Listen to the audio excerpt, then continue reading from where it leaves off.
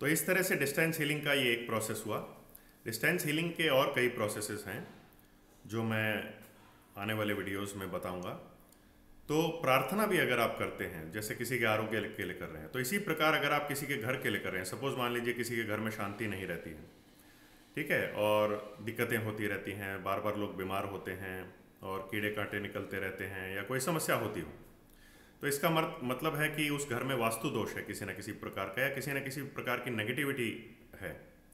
तो उसके निवारण के लिए भी सिंपल सी संकल्प है, उसी हल्दी पे या चौक पाउडर पे आप ये संकल्प बोलें कि स्वयं सो जो व्यक्ति है, उसका जो घर है, उसका नाम लेके कि उसका जो, उनका जो घर है, जिसमें वो रहते हों, उसे आरोग्य मिले, उस घर को आरोग्य मिले। इस तरह से आप बार बार बोलते रहिए, दो मिनट तक या पाँच मिनट तक। या कम से कम थर्टी सेकेंड्स तक, और उसके बाद फिर हल्दी को वापस सर्कल में और घुमा दीजिए। क्योंकि आपको सर्कल में इसलिए घुमाना है कि जब आपको स्थान नहीं पता है कि वो व्यक्ति या उसका घर किस स्थान पे है, किस डायरेक्शन में है तो इसलिए सभी दिशाओं में उड़ाने से वो फ़ायदा जो है, वो घर जहाँ भी होगा, वो व्यक्ति जहाँ भी होगा, घर में होगा, बाहर घूम रहा होगा मार्केट में होगा, वो उसको लाभ मिलेगा। ठीक है? इसलिए सभी दिशाओं में उड़ाना है। अगर आप किसी एक दिशा में भी उड़ाते हैं तो भी क्योंकि व्यक्ति विशेष का या उसके किसी वस्तु का नाम लिया गया है तो वो फ़ायदा जो है, उसको फिर भी होगा क्योंकि संकल्प में उसका नाम या उस घर का नाम मेंशन किया गया है। तो भी रिज़ल्ट आएगा, बट चारों दिशाओं में या सभी दिशाओं में घुमाना गोल, क्लॉकवाइज घुमाना है एंटी क्लॉकवाइज नहीं घुमाना घूम नहीं घूमना है।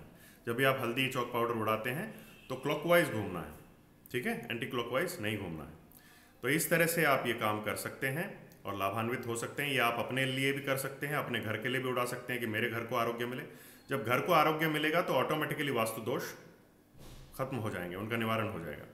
जब व्यक्ति को आरोग्य मिलेगा तो ऑटोमेटिकली उसके दोष, बीमारियाँ सब ठीक हो जाएँगे और वो व्यक्ति सुखी होगा। ठीक है? तो उम्मीद करता हूँ कि आप इस इससे लाभान्वित हों। अगर आपको अपने पशुओं के लिए उड़ाना है तो भी कर सकते हैं कि आपके गाय हैं, भैंस हैं, जो भी हैं, बकरियाँ हैं या कुछ है तो आप कह सकते हैं या कुत्ते हैं तो आप ये कह के उड़ा सकते हैं कि मेरे कुत्ते को या मेरी भैंस को या मेरी गाय को या और कोई जानवर हो आपके पास, घोड़ा, गधा, जो भी है तो उन्हें आरोग्य मिले।